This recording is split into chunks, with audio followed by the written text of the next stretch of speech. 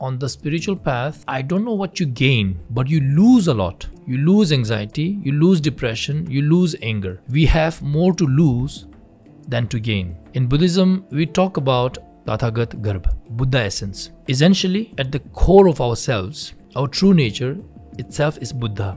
It's perfect. It is only wrapped with a dirty rag.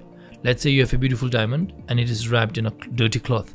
You will not be able to tell that there's a diamond inside there. So the process is not so much to take the diamond out as it is to unwrap it. So that is why on the spiritual path, it is more about unwrapping and losing than to gain something.